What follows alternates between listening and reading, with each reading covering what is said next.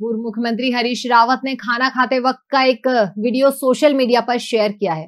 Video में पूर्व मुख्यमंत्री ने खाने का स्वाद बढ़ाने वाले घी की खासियत के बारे में बताया है, जो कि पहाड़ी गाय के दूध से बना हुआ है। उन्होंने स्वयं दूध से घी बनाने की पूरी विधि के बारे में बताया है। उत्तराखंड के पूर्व मुख्यमंत्री हरीश रावत ने खाने की थाली में परोसे गए घी के जायके और इसे बनाने की पूरी प्रक्रिया के बारे में बताया है। पहाड़ की बद्री गाय जो कि आकार में छोटी होती है और जंगलों व खेतों में चारा चढ़ती है, ये उसके दूध से बना हुआ घी है, जिसे उनकी पत्नी ने अपने नाती के लिए मंगाया है। पूर्व मुख्यमंत्री रावत ने घी की बनाने की पूरी प्रक्रिया के बारे में बताते हुए कहा कि पहले इसके दूध को उबाल करके दही का जमना डालना पड़ता है और जब दही जम जाता है, फिर तीन चार दिन बाद उसको मथा जाता है।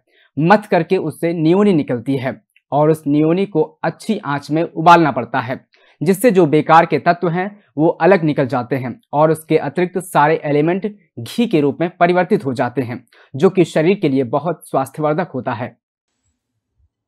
ये पहाड़ की बदरी गाय बड़ी छोटी होती है और जंगलों में, खेतों में चरती है उसके दूध से बना घी। मेरी पत्नी ने इस घी को अपने नाती के लिए मंगाया है।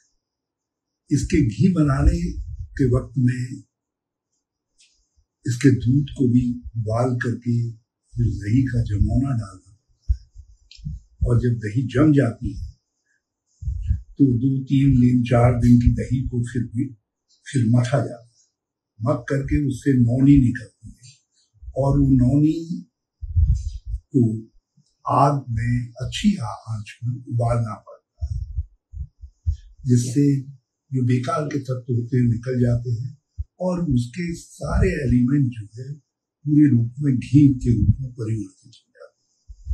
और ये घी कितना स्वास्थ्यवर्धक और कितना उपयोगी है, ये तथ्य से पता चलता है कि पहले पहाड़ों में जो वैद्य लोग होते थे, वो किसी को सन्निपात हो जाए टाइफाइड सर चढ़ जाए और उतर न रहा हो तो 21 बार उसके घी को पानी से धोते थे और ब्राह्मी के साथ सर पर रखते थे। तो उसका ज्वर उतर जाता था। डेंगू में भी सर में भी ज्वर चढ़ जाए तो ये लाभदायक इसका यदि पाउडर भी मिले तो वो भी लाभदायक है। जिस तरीके से बकरी का, कि दूध का पाउडर लाभदायक है डेंगू में इसका भी पाउडर लाभदायक है। मगर बहुत कीमती है। यदि पाँच हज़ार रुपये किलो मिल जाए इसका घी बहुत सस्ता है। वैसे जो साहिवाल और दूसरी नस्ल की भारतीय गायें हैं, उनका दूध भी यदि इसी प्रोसेस से मथा जाए और बिलवाया जाए तो उसका घी भी काफ़ी कीमती भी होगा स्वास्थ्य हो